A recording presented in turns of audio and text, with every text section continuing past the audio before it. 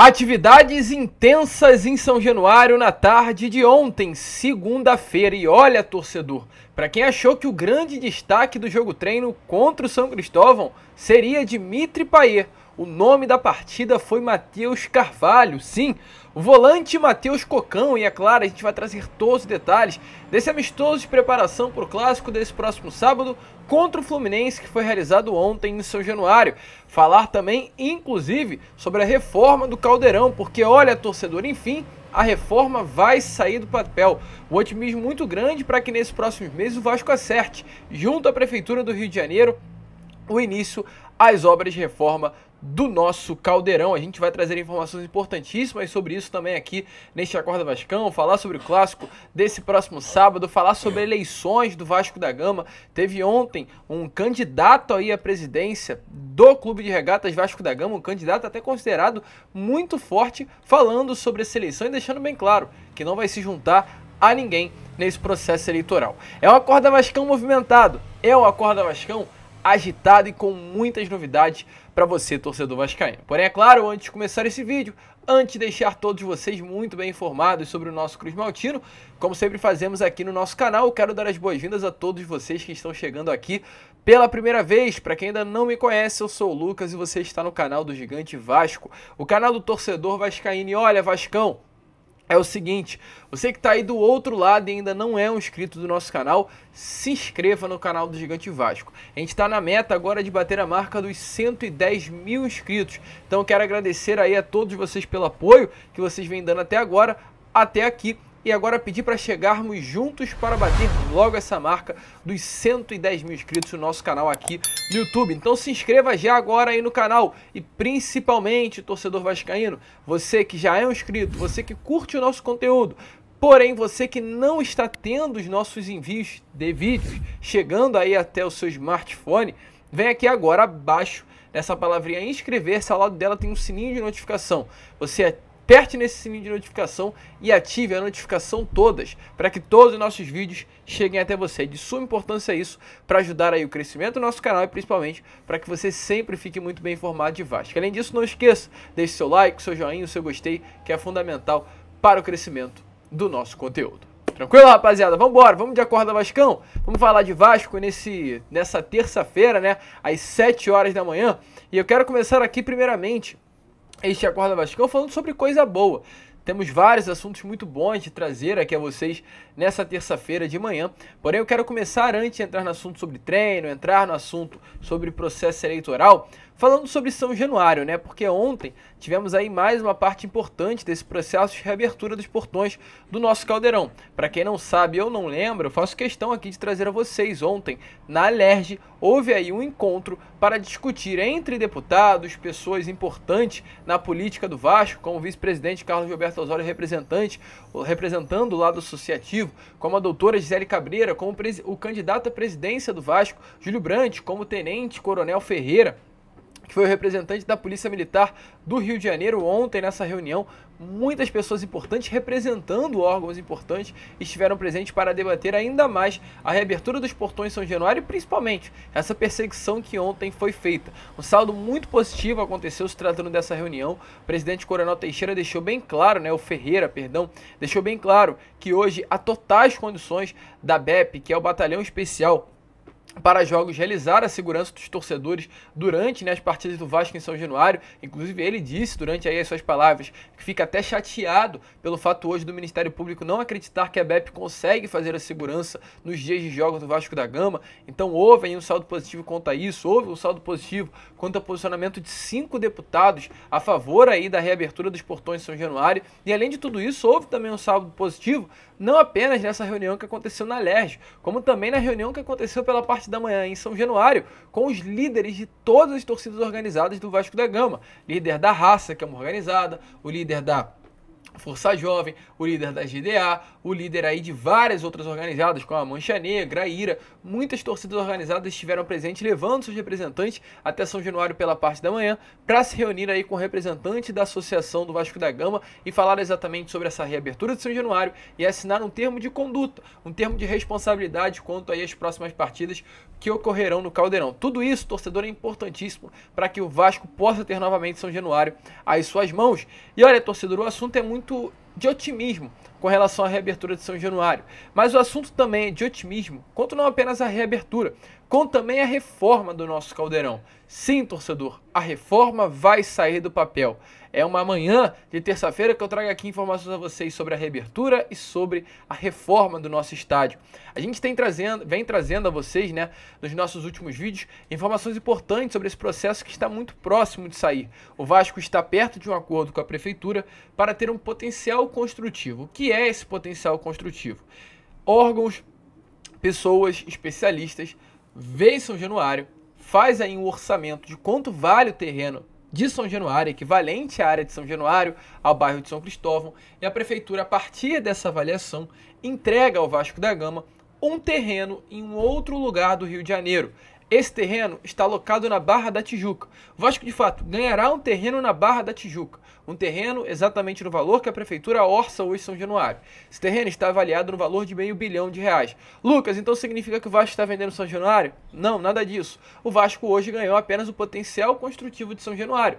Ou seja, o Vasco ganhou um terreno na Barra da Tijuca, exatamente no valor que vale São Januário, que segundo orçado vale meio bilhão de reais, 500 milhões de reais. Esse terreno está na Barra e nesse momento as informações que nós temos a trazer aqui a vocês nesta terça-feira de manhã é que algumas empresas já estão interessadas em adquirir esse terreno que o Vasco vai ter em mãos daqui a algum tempo esse terreno na Barra da Tijuca. Empresas como a Cirela, empresas como a Redditor e ontem mais uma interessada, a Multiplan, que é uma empresa aí que hoje, né, tem aí vários shoppings espalhados pelo Brasil também está interessado nesse terreno. Ou seja, três empresas grandes, uma rede de hospital, que é a Rede Dor, uma rede que é a Cirela, que eu não tenho informações aqui exatas a trazer a vocês, mas sei que é uma empresa muito grande, é a empresa aí Multiplan, que é essa empresa interessada em construir um shopping no terreno que hoje pertence ao Vasco, e a partir disso o Vasco estará colocando à venda esse terreno para que com o dinheiro desta venda possa iniciar a reforma do Caldeirão. O valor arrecadado com a venda será única e exclusivamente para a reforma do estádio. Então, torcedor, a expectativa é gigantesca, o otimismo é muito grande para que o quanto antes o Vasco possa ter a reforma de São Januário iniciada. Caixotinho, a Caravela ou vários outros projetos que acontecem aí ainda são debatidos, mas uma certeza é, enfim, teremos uma casa reformulada. Uma nova casa não, que São Januário sempre será a nossa casa, é São Januário, não teremos uma nova casa, mas enfim, teremos a nossa reformulada casa do São, de São Januário, perdão.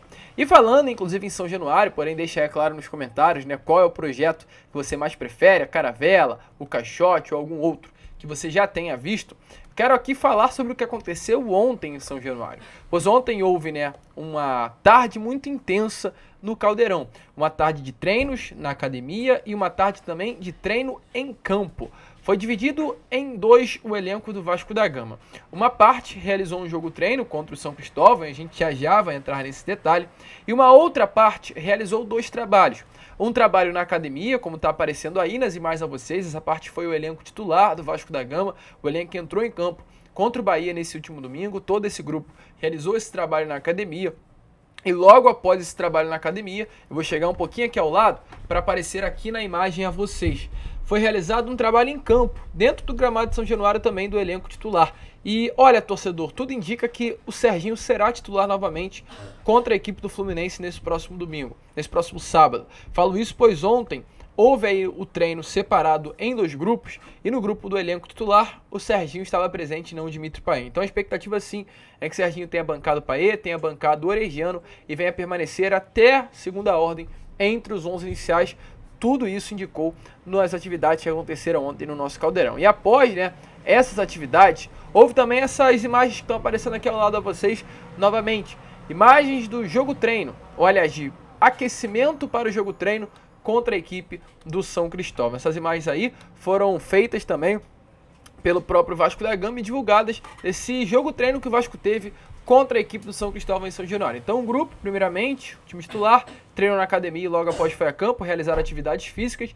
E o grupo considerado reserva realizou atividades físicas e logo após foi a campo para fazer esse amistoso contra a equipe do São Cristóvão. Falando sobre esse amistoso, Vasco venceu a equipe do São Cristóvão pelo placar de 5 a 0. Os gols foram marcados dois por Sebastião, dois por Figueiredo e um pelo Alex Teixeira. A atividade foi dividida em dois tempos normais, dois tempos de 45 minutos. E olha, torcedor, a gente tem informações importantes a trazer aqui a vocês nessas atividades. Ontem, no Boa Noite Gigante, a gente trouxe, né, alguns detalhes sobre o que rolou nos gramados de São Januário.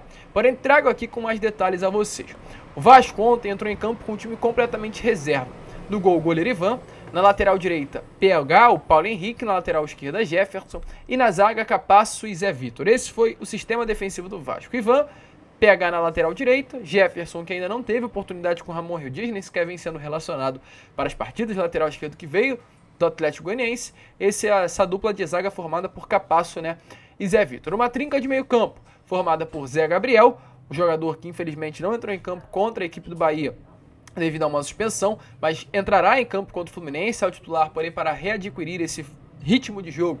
Entrou em campo ontem contra o São Cristóvão como titular na posição de primeiro volante. Ao lado dele, Matheus Cocão e Jair. A gente já, já vai entrar nesse assunto do Matheus Cocão, mas prosseguindo. E uma trinca ofensiva. Uma trinca ofensiva formada por Paê, mais aberto pelo lado esquerdo do campo.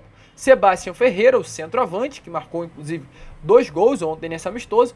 E o Luco Orestiano compondo aí essa trinca ofensiva do Vasco. Entraram em campo na segunda etapa Alex Teixeira entrou na vaga de Dimitri Payet, mais aberto pelo lado esquerdo. Figueiredo, que marcou os dois gols, entrou na vaga do Sebastião. No caso, Figueiredo entrou como centroavante. Muito legal ver, inclusive, essa oportunidade dada ao Figueiredo atuando como esse camisa 9.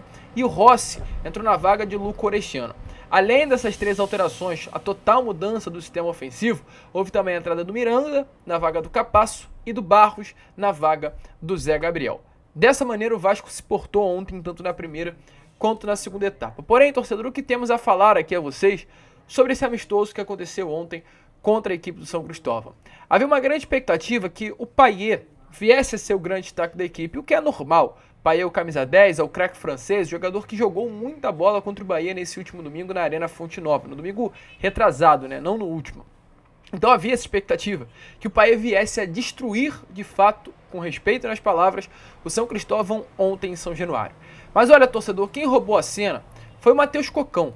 O Matheus Carvalho, exatamente, esse nome que veio do Náutico, o clube de Série C do Campeonato Brasileiro, o nome que veio diante de muitas críticas, mas um nome que quando ganhou vaga no time titular chamou a atenção. Jogou muita bola contra o Internacional naquele jogo lá no Beira-Rio, jogou bola em outras partidas vestindo a camisa do Vasco da Gama e ontem novamente, informação que tivemos é que ele jogou muita bola. Inclusive, a informação que eu trago aqui a vocês, dada pelo canal Atenção Vascaínos, é que o pessoal do São Cristóvão confidenciou que Matheus Carvalho treinou ontem nesse amistoso melhor do que o próprio Dimitri Payet. Então quem roubou a cena ontem no amistoso não foi Payet, não foi Sebastião Ferreira com seus dois gols, não foi Capaz no sistema defensivo, não foi o goleiro Ivan. Foi Matheus Carvalho que roubou a cena. A pergunta que fica é: será que o Matheus Carvalho merece uma oportunidade no time titular? Será que hoje Matheus Carvalho é um nome melhor do que o próprio Jair para aparecer como essa segunda opção no meio-campo?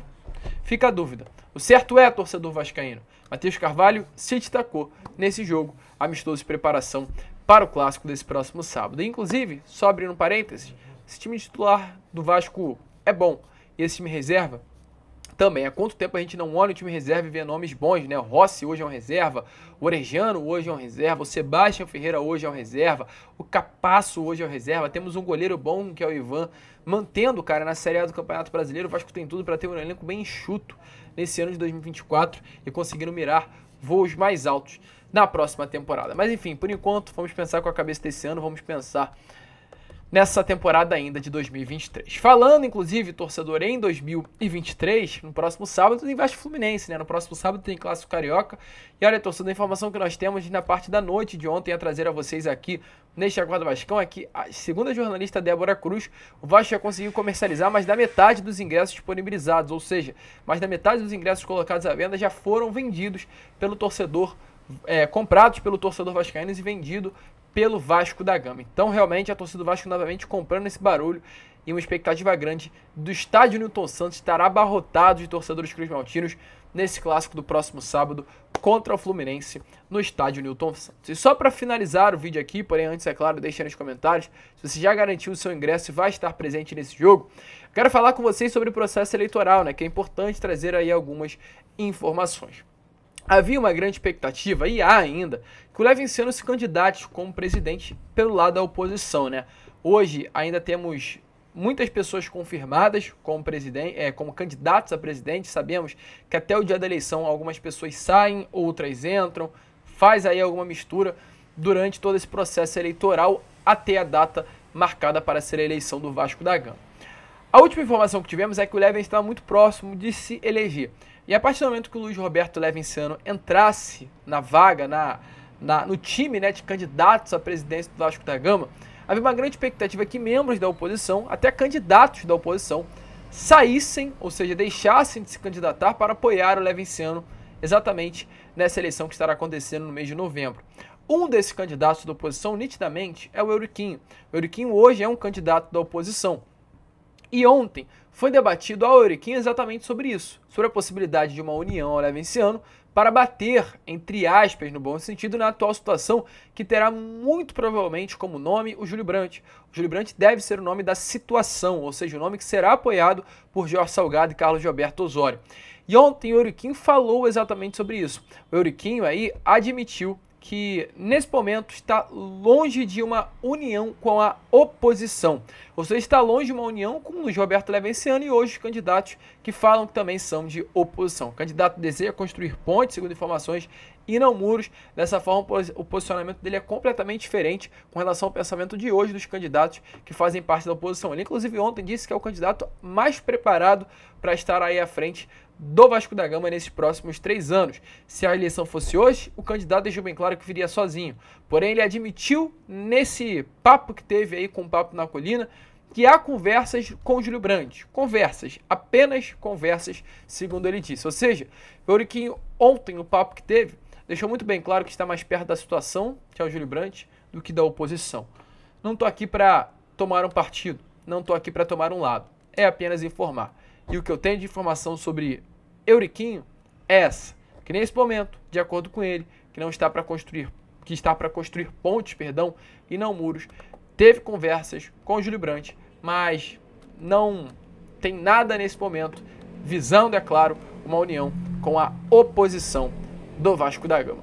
Deixa aí a sua opinião nos comentários sobre o que você acha disso tudo. A gente vai trazer aqui, é claro, né, está chegando aí o momento eleitoral do Vasco da Gama de presidência, então a gente vai começar a trazer um pouquinho mais de assunto envolvendo a eleição, a política do nosso Cruz Maltino. A gente espera que venha ser um processo liso, sem máculas, um processo tranquilo, respeitando acima de tudo o nosso Vasco da Gama.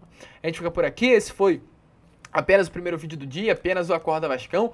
Retornaremos já já volta de 2 e meia, 3 horas, com Fala Gigante, na parte da noite, às 8 horas em ponto, com Boa Noite Gigante, cheio de informações a vocês. O que vamos, se inscrevam, compartilhem e, como sempre falamos, saudações vascaínas.